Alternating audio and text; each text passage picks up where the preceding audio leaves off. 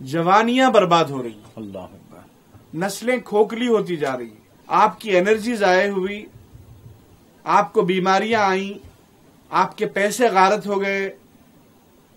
कुरान की नज़र में आप मुजरिम हो गए अहादिस शरीफा की मुखालफत करने वाले बने। बसमीम अल्लाह ताला ने अपने मुकदस कलाम में इरशाद फरमाया वला तुल्कू बी ऐदी को मिलत तहलुका। जी।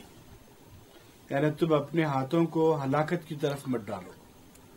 ये जो तंबाकू है सिगरेट के ऊपर भी लिखा है और हर गुटखे के ऊपर लिखा हुआ है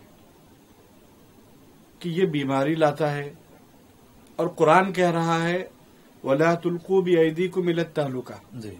कि तुम अपने आप को हलाकत में मत डालो। तो फिर ये कुरान के हुक्म की मुखालफत है ये पीना। अल्लाह अकबर जी। हम अपने जमीर से कहें कि हम मुसलमान हैं ईमान वाले हैं। फिर ईमान वाले रहने के बावजूद हम कैसे सिगरेट पिए? जबकि हमारा कुरान कहता है कि हलाकत में डालने वाली चीज़ हरगिज हम उसके करीब नहीं जाएँगे। अपने आप को नहीं डालेंगे हलाकत में।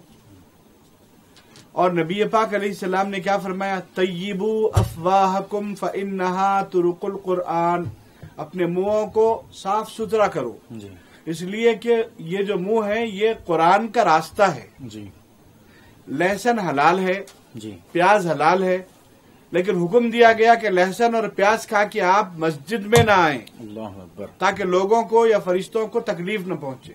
आपके मुँह की नापसंदीदा बू से और सिगरेट पीने वाले की मुँह से नापसंदीदा बू आती है। जवानियाँ बर्बाद हो रही हैं। अल्लाह नस्लें खोखली होती जा रही हैं। मैं फिर कहूँगा हमारे वो नौजवान बच्चों से जो नौजवानी में सिगरेट शुरू किए ठीक है पाँच साल दस साल से पी रहे हैं अब शादीशुदा हो गए उनको औलादे हो गई। उनको बेटी अल्लाह ने दिया है। आप अपने दिल से पूछिए क्या आप ऐसे दामाद को अपने लिए मुनासिब समझेंगे जो सिगरेट पीने वाला है? जब आप अपने दामाद के लिए ये बात मुनासिब नहीं समझते फिर आप कैसे ये चीज़ कर रहे हैं? क्यों आपका जमीर बेदार नहीं होता? क्यों आप बुराई से अपने आप को अलग नहीं करना चाहते? आपको सिर्फ़ अपनी सेहत का ख्याल रखना है इस बुनियाद पर आप सिगरेट छोड़ सकते हैं। आपको कुरान की अहमियत है इसलिए आप सिगरेट छोड़ सकते हैं। नबी पाक सलाम के फरमान का पास लिहाज है इसलिए आप सिगरेट छोड़ सकते हैं। ये पैसे जाय करता है इसलिए आप सिगरेट छोड़ सकते हैं। कई वजूहत है सिगरेट छोड़ने की और पीने की कोई वजह ही नहीं। पीने से आपको क्या फ़ायदा? क्या एनर्जी मिली आपको? कौन सी ताकत हासिल हुई आपको? आपकी एनर्जी जाये हुई आपको बीमारियाँ आई आपके पैसे गारत हो गए आपके लिए मसला पैदा हो गया।